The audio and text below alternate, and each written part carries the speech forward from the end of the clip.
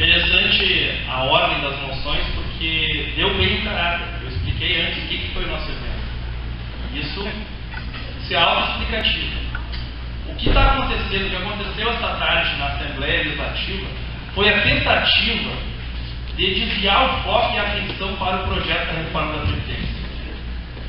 Eles estão dizendo lá, Hatten e os deputados que defenderam essa, essa, essa moção do deputado, de que houve um evento petista, um evento partidário e que este evento partidário não poderia ter contado com a participação de entidades, entre elas as escolas.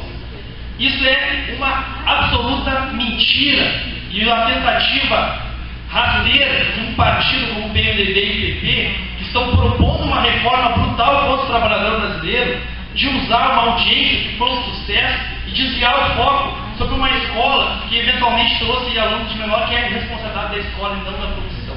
Esta nossa plenária, esta nossa audiência foi construída democraticamente entre todos os partidos e trata de um assunto de extrema relevância.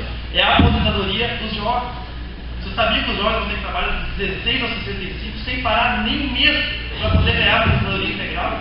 E aí, se alguém vai na escola dizer isso interessa a vocês, vem este deputado que defende uma ideia burra de escola sem partido que não existe lugar sem ideologia. Qualquer pessoa minimamente intelectualizada sabe, não há local sem ideologia. Ideologia está em tudo.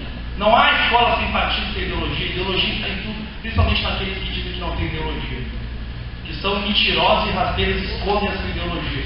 Agora, nós temos sim a dizer que existem muitas ideologias, cada um defende a sua. Cada um defende a sua, mas admita que ela existe.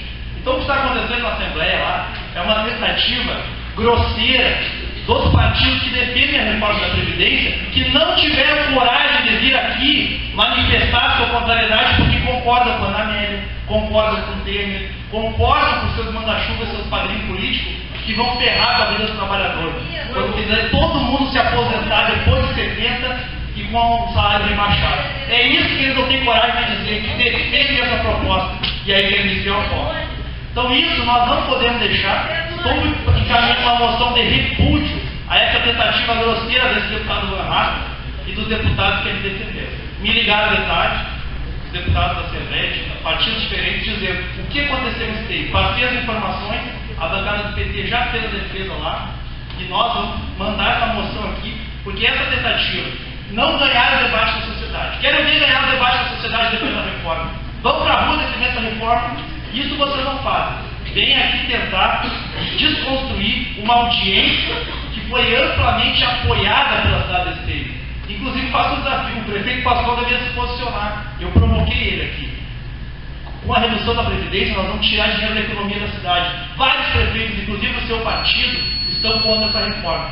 Vamos nos posicionar e parar de inventar picuinha para desviar o foco. Não vamos deixar passar a reforma da Previdência.